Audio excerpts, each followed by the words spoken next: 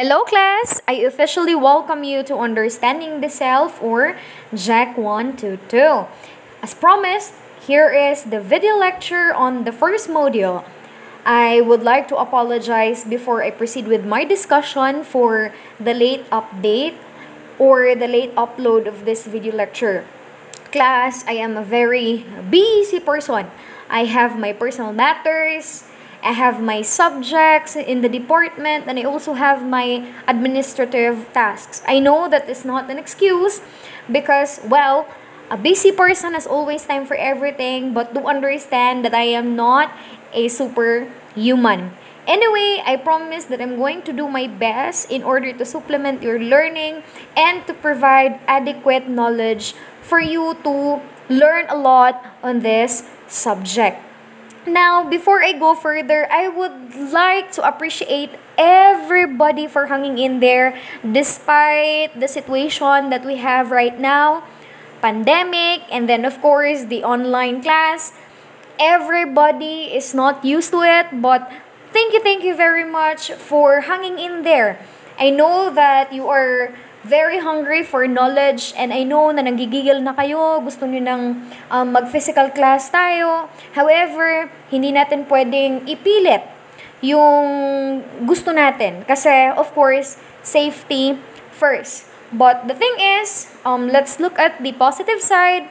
Um, let's see this situation as a room for our growth and development. Now, of course, um, let me give you a, an overview about this course. This course class is really, really interesting because we are going to talk about you. Yes, you. Your thoughts, your emotions, your feelings, and even the very nature of your soul. But remember, class, that all depends on you. Because no matter what I do, no matter how hard I try to discuss all these things, but if you don't help yourself, if you are not willing to embody all the knowledge that I'm going to share to you, then I guess it's pointless. Okay? Although that understanding the self is a lifetime process, but I hope that this course would help you in presenting yourself, in handling yourself better. Anyway, class, this is lesson 1 the self from various philosophical perspectives. Now, at the end of the lesson, I am expecting you to explain the ideas and concepts of the self that are presented by different philosophers.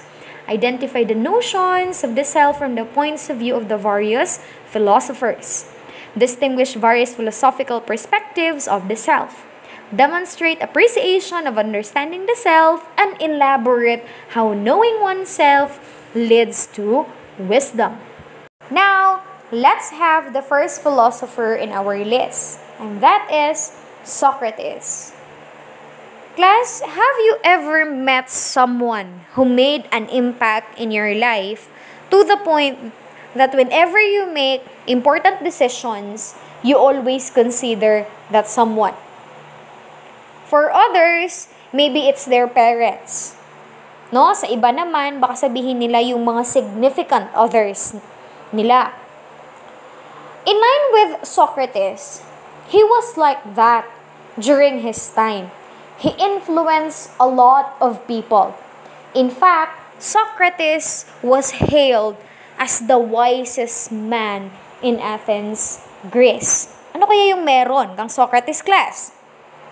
During his time, people in Athens, Greece were merely existing. Naglalakad dahil may mga paa kumakain, kasi kapag hindi kumain, tutunog ang mga sikmura. Humihinga kasi may hangin na available sa paligid at kapag hindi huminga, malamang baka mamatay yung tao. We cannot call it living because according to the wisest man hailed in Athens, Greece, and that was Socrates himself, living is about finding purpose and meaning. Parang yung mga tao class, binubuhay lang nila yung buhay nila kasi may buhay sila. they did not see the value of their lives. No? They were not even curious of their origin. They were not curious kung saan nagmula yung mundo. Bakit may araw? Bakit may buwan? They were not curious of the mysteries of the world. And the worst thing is that they claim that they are intelligent. They were very contented class of this idea to the point that they stopped doubting. They stopped being curious. No? So, they were just very arrogant, claiming that they are wise, but in reality, they were not. No? Because of this, Socrates told himself na better pa pala ako at least I know that I know nothing. I know those things that I don't know and those things that I know. And because of this remark of Socrates' class, no, the pursuit of wisdom was first triggered. Remember, class, that the moment we question and we doubt what we know, that is also the very beginning of us finding answers and hence pursuing wisdom. Kasi, class, hindi naman tayo maghahanap ng solusyon kung walang problema. ba? Diba? That is actually common sense, right? Now, the thing is, along the process of finding solutions to our problems, unti-unting nadadagdagan yung mga kaalaman natin. And of course, unti-unting nadadagdagan din yung mga experiences natin. These are the things that we use in attaining wisdom. This was Socrates' motivation in his philosophy. More importantly, Socrates believed on the idea that we need to know the very nature of our soul. Ang sabi niya pa nga, know thyself kilalanin mo yung sarili mo.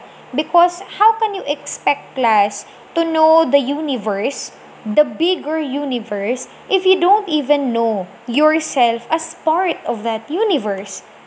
No? So, this led Socrates to his theory of dualism. Anyway, in relation to Socrates' perspective of the self, he proposed the theory dualism. Dualism class explicates that aside from our physical body, we possess an immortal soul. Socrates said that reality itself is made up of two dichotomous realms the physical realm and the ideal realm. Let's discuss first the physical realm. Physical realm class is changeable, is transient, and is imperfect. In fact, everything in this world class belongs to the physical realm. Everything that you see, hear, taste, smell, and feel belongs to this realm. Bakit? Kasi lahat ng nandito sa mundong ito class, temporary and it's not even long-lasting. Yung mga trees sa paligid natin, yung mga animals class, nawawala yan, no? Kapag may mga kalimidad, no? Kapag nagyera, for example, even yung buhay ng tao class, nawawala, di ba? And because of that class, it is part of the physical realm. Again, it's changeable, transient, and imperfect. On the other hand, class, ideal realm is unchanging, eternal, immortal, and perfect. No? So, from the word itself, ideal. No? Ideal means on the zenith. Perfection itself. No? Mas mataas pa sa sinasabi natin na excellent. No? The very idea of truth, goodness, and beauty. Although, no, na nakakapag-cite tayo ng example sa physical world, but the perfection, no? The perfect form of these ideas only exists in the ideal realm. Why? It's because, for example, um, yung beauty class, right? we can say that a person is beautiful in our eyes as of the moment, but that person cannot be beautiful all the time. Right? That person cannot be true all the time. That person cannot be good all the time. And because of that, it manifests inconsistency. It manifests class change. No? And because of that, it is not perfect. That is why only the idea of truth, goodness, beauty, etc. exists in the ideal realm. According to Socrates' class, our soul is the perfect example of the thing that exists in the ideal realm.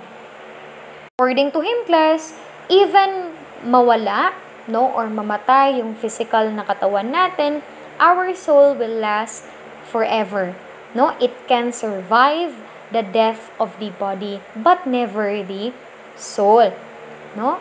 Kung iisipin nating mabuti class, namatay si Socrates. Yes, that's true. Ilang centuries na yung nakaraan. But kung iisipin natin, hanggang ngayon, yung wisdom, yung contribution ni Socrates buhay na buhay pa rin. Right? And because of that, we can say, wow, the soul of Socrates is still alive. Every soul in this world aims for genuine happiness. In fact, according to Socrates, this is the highest goal of man. We want to seek purpose and find meaning in our lives because we want to be happy at the end of the day. However, as we strive for wisdom and perfection, as we struggle to be happy at the end of the day, we are also inhabited by our own imperfections, by our own weaknesses. No? Not just our own weaknesses, but also the imperfections of the world itself. No? So, a very good example of that class is discouragement, for example. Um, calamities, right? Uh, yung COVID, that is a very good example of the imperfections of the world. Second philosopher class was the student of Socrates, and yes, that's Plato, no? Um, during the time of Socrates class, flashback muna tayo, he was not able to publish most of his works because he was executed. No? I told you a while ago that Socrates kasi challenged the system, no? Challenged the government. Sige, sabihin na lang natin na government. And because of that class, he was seen as a threat to the society. No? So imagine if there is um, a group of power powerful people and then kinalaban mo yan sila. Of course, they would try to do everything in order for you to be removed in the picture. And yan yung nangyari kang Socrates class. He was executed and yes, because of that, hindi na i-publish yung mga trabaho niya. But Plato, as the diligent student, no, yung ginawa niya, he did all the note-taking. So, yung nangyari, he continued the legacy of Socrates, no? So, Plato class was a committed, no? A committed student of Socrates. So, he also had the same belief, no? So, naniniwala din siya doon sa dualism ni Socrates. However, class, he also recognized the inherent difficulties with this view. He asked, how is it possible that the self remains the same when it is obvious that every self is defined by a process of continual change and evolution? Remember that Socrates um, said that the human soul is immortal and perfect. 'di ba no? It's unchanging. So ibig sabihin, kapag sinilang yung tao, kung ano yung soul meron siya, yun na yun. Hindi na yun siya mag-change kahit na tumanda pa siya. No? So, um, according to Plato, it is impossible. Why? Kasi if yung katawan ng tao, yung physical body natin glass, nagbabago, no? For example, yung old cells natin, no? They are parang they die and then of course will eventually be replaced by new ones. Yung bata class, hindi yan forever na magiging bata. No? Hindi yan, pwede, uh, hindi yan forever na magiging um, baby. So, eventually, he or she would become an adult in his own time. And because of this class, Plato said that whatever experienced by our physical body is also experienced by our soul. No? So, kung nagbabago yung physical body, then it is impossible for the human soul to not change at all. ba? So, ito yung sinasabi niya na the human soul cannot be part of the ideal realm. The human soul cannot be perfect. No? It would change along with the change of the um, physical body. No? So, even though that our soul strives to become immortal and perfect at the end of the day, but still, since um, it is inhabited by the imperfections of the physical body, then of course the soul itself will become imperfect. No? But still, no, the sti- still, our soul aims to be um, immortal. So, in fact, it is actually manifested in our prizing of our children. So, kapag sinasabi natin class na prizing of our children, ito yung um, pinapalaki, inaalagaan natin yung mga anak natin.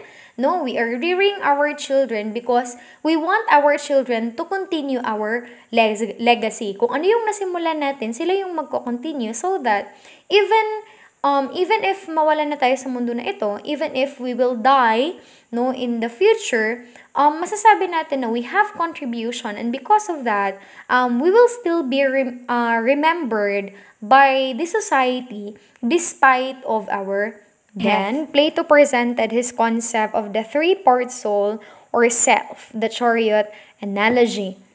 If you're looking in the picture right now, you can see three elements. The charioteer, the winged noble horse, and the winged wild horse. The charioteer class is represented by our reason. In other words, our rationality. So, this is our divine essence that enables us to think deeply, make wise choices, and achieve a true understanding of eternal truths. It is what makes us apart from animals. While animals are bound by their instincts all the time, we are dictated by our intellect and our ability to reason out. Second one, we have the physical appetite or the winged noble horse. This pertains to our basic biological needs such as hunger, thirst, and se- sexual drive. So, these are actually class our um, instinctive attributes, something that we already possessed when we were born in this world. So, nung isinilang tayo, inherit na siya sa atin class. ba? So, um, kapag yung baby, hindi mo na siya kailangan na turuan, na umiyak ka kapag nagugutom ka. Or say for example, kapag nauuhaw ka, um, kailangan umiyak ka ha. Hindi mo na siya kailangan diktahan kasi it's it's already an automatic response. Lastly, we have the winged wild horse which is symbolized, no, or which symbolizes spirit or passion. This is our basic emotions such as love, anger, ambition, aggressiveness, and empathy. So when we say empathy class, this is our ability to um, to be in the shoes of other people. Yeah? So, um, this also pertains to our values and virtues, right? Now, these elements are in a dynamic relationship with one another, and sometimes, class, they're also in conflict with one another. Remember that this chariot analogy is a representation of our self itself. No? So, ibig sabihin, if these elements are sometimes in conflict, we also experience this in our own. For example, um, have you ever experienced na kung saan you are in a, you are in a dilemma, no? Ano yung susundin sa mga choices mo? You need to pick only one. Ano yung susundin mo? Is it the right thing to do or is it the thing that you badly want to do? No? Gustong-gusto mong gawin yung bagay na yun um, kahit na magalit yung mga tao sa paligid mo. Kahit na mali siya, gusto mo pa rin gawin yon, Right? So, this is this is a manifestation of the conflict, no? Conflict ng tatlong elements na present sa chariot analogy. Now, the thing is, in order to control the physical appetite and our spirit or passion, um, our reason class, our rationality should be in control. So, siya yung referee sa dalawa no? Siya yung nagme-mediate, siya yung nagme-maintain ng balance. And of course, if our reason, if our rationality dominates, then we can assure genuine happiness. Gaya ng sabi nga ni Socrates, no, na pinaniniwalaan naman ng estudyante niya na si Plato, na the goal of man is genuine happiness. The third one we have Aristotle. I know for a fact that you've heard of his name many times because Aristotle is very popular across disciplines. He's not only present in natural sciences such as physics, mathematics, biology, chemistry, etc., etc., but also in social sciences such as anthropology, social, etc. Aristotle class was a student of Plato who was a student of Socrates. So, Socrates taught Plato and then Plato taught Aristotle. However, instead of doing the same thing as as Plato, Aristotle rejected dualism. Yes, he rejected it. Although it would be easier to assume that he would embrace it, but sadly, he did not. In fact, he proposed um, the same the same or quite similar uh, view and he called it hylomorphism. So hylomorphism explicates that a being is a compound of form and matter. So hylo, no, from the word hyle, which means form, and morph, which means matter. Now, matter class is the common stuff that makes up the universe, while form is the essence of a thing that makes it what it is. This is what distinguished between living and non-living things. Aristotle emphasized that you cannot separate matter and form. It is impossible to, to separate them. So, when you combine matter and form class, you create a form matter or substance. So all the familiar things that we see in the world are called substance or substances. Again, you cannot separate matter and form because um, if you try to separate it or just the idea of separating it, um, it loses its very essence, right? Um, that is exactly the reason of Aristotle that um, Kagaya ng hindi pwedeng i-separate yung matter and form class, we also cannot separate our body and the soul. So, the matter class is a representation of our physical body, while the form class is the representation of our soul. Our soul class is the very essence of our being. You cannot separate our physical body and our soul because according to Aristotle, it's it's actually um, it's it's actually impossible no? Because our phys- physical body cannot exist without the existence of course of our soul and our soul cannot exist without our physical body. So they they exist or they live um, codependently no? So hindi sila pwedeng paghiwalayin. That is the view of aristotle. Fourth one class is saint augustine the first theologian. So, theologian is the one who pursues the study of God. What he did is that he integrated Platonic ideas with Christianity. So, like Plato, he believed on the existence of the physical body and the soul. So, physical body and soul exist separately, right? Now, the thing is, as his thinking matured, he began to view the self as more unified. So the body is the spouse of the soul. So the body needs the soul and the soul needs the body in order for them to complete each other. So they are united.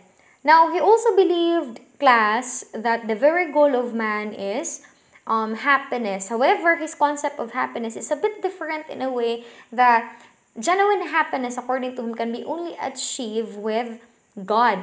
No? So, yung sinasabi na niya na even though na yung soul natin is mamamatay dito sa mundong ito, our souls are capable of reaching immortality when we follow the commandments of God. And of course, if magpo-follow tayo ng commandments of God, then basically, we will have the chance to live with God. No? So, eternal yun. Ibig sabihin, forever. So, yung sinasabi nila na, anong tawag dito? Um, immortal life after our death here on earth. So, yeah, that is the belief of Saint Augustine. Let's proceed with René Descartes. René Descartes' class is a rationalist one that views that reason is the primary source of all knowledge and that only pure reasoning abilities can enable us to understand sense experience and reach accurate conclusions. So I already told you a while ago that one that distinguishes us from animals is our intellect and our rationality. So in order to justify that we are really unlike animals who are bound by their instinct, we need to use our reasoning ability. Now, according to René Descartes' class, it would make us closer to the truth. Doubting would made would make us closer to the truth. Now, the question is, when do we usually doubt? René Descartes said that we usually doubt class no, when we ask questions, when we are confused about something. Now, the next thing that we do is most likely um, we gather uh, answers to these questions, right? And the more we seek answers to our questions as, the more also that we learn, the more that we reason out. And say, for example, if we happen to arrive to a conclusion, it is not yet enough for us because we also gather evidences, more evidences in order to suffice the conclusion that we come up with, no? Now, the thing is, according to René Descartes' class, as much as possible, we need to doubt all the time. Let's doubt everything that we have, even our own belief class. Again, doubting would lead us to the truth. Now, question is, question ko sa inyo class, how sure are you of your belief right now? How sure are you of your choices right now? Pagpili ng course, for example, is it your choice? Or is it your family's choice? Hmm? How sure are you of, of your decisions? No? Are you the type of person na go with the flow lang? Or are you the type of person who uses, no? His intellect and his rationality in order to decide for himself or herself. Hmm? So, yun yun. Again, according to Descartes, as much as possible, doubt everything in your surrounding because it would lead us to the truth. It would make us closer to the truth. You can even doubt yourself class, no? But according to Descartes' class, even if, say, for example, you doubt yourself, no, it doesn't eradicate the fact that yourself exists. In what way? Say for example, um, say that you are doubting yourself. You cannot um you cannot deny that it's your doubtful self that exists. Tama? Hmm? You can even doubt that you are listening to my discussion today. No? How, how can you be so sure that you are not dreaming while listening to this one, that you are not hallucinating while listening to my discussion as of the moment, right? But despite that one, um, your uh, the idea that your doubtful self, that your, say, dreaming or hallucinating self still exists. So according to Descartes' class, still you cannot lose your sense of self because the fact that you are thinking, that you are doubting, no? The fact that you are thinking about your doubtful self, the fact that you are thinking about your um, hallucinating or dreaming self manifest the idea that yourself exists.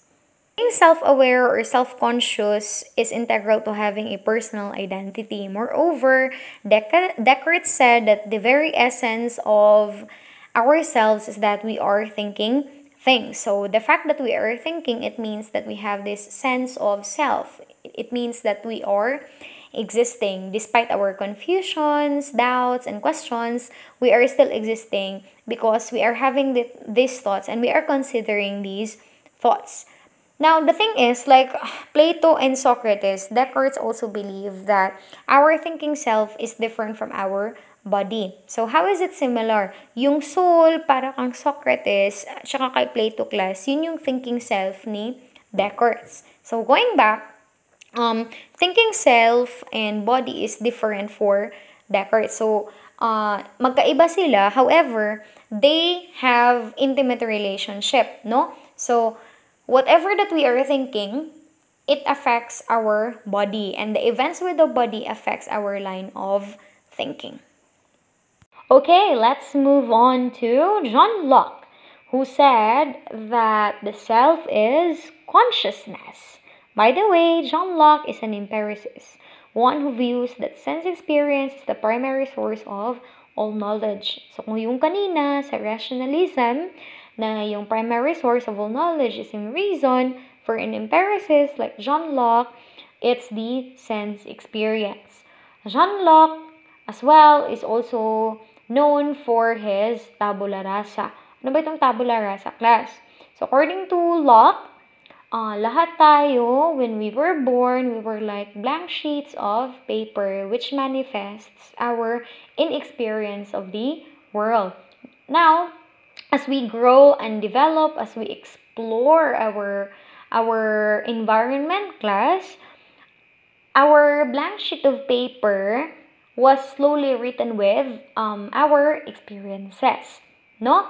Now, According to John Locke Paren, in order for us to understand our sense of self, our identity, we need to understand first what does it mean to become a person? So he defines a person as a thinking, intelligent being who has the abilities to reason and reflect. No? So rationality no? And someone who considers himself to be the same to be the same thing in different times and different places. So anong ibig sabihin nito? So for example, do you consider yourself no as the person when you were in high school, when you were in kinder, the one who studied last night, the the one who watched a movie or a K-drama last night, ikaw pa rin? 'Di ba no? So the same pa rin ba yan na person? Now, it is actually class possible through our consciousness. So, when we say consciousness, it is our uh, awareness that we are thinking, no? So, yan yung ibig sabihin ng consciousness. Um, according to Locke, the self is not necessarily embedded in a single substance or or a soul, no? But exists in space and time. So, Locke does not have the same belief with with Descartes, with Plato, and with Socrates. So, hindi sila magkapareha. Sabi lang niya, the essence of the self is its conscious awareness of itself as a thinking, reasoning, reflecting, and identity. Again, when we say consciousness, it's being aware that we are thinking. The key, the key to understanding the self is our conscious awareness and memory of our previous experiences. No? So that's why class, those people na nagkakaroon ng amnesia, 'di ba? It is very um difficult for them to uh to to identify themselves, no? Because at some point, kapag nawala yung mga memories nila, kapag nawala yung consciousness nila, then basically it's like losing their sense of self then. So, ganoon din um, sa case natin. So for us to have sense of self, then basically we need to be conscious. We need to have uh, memories of our past deeds, no, and we need to be aware as well of our present actions. Now, every aspect of the physical body is integrated with, of course, personal identity. The body changes, the physical self changes. No, we may not be the same physical person we were five years ago, and so on, but we are convinced that our personal identities have remained the same despite these changes in physical substance to our body. So Locke believed that even though our physical body continued to undergo changes, but the fact that we recognize that we are still the same person, then the same person it is. Diba? Locke concluded that one's personal identity is distinct from whatever substance it finds itself associated with. So Locke believed on the uniqueness of every individual.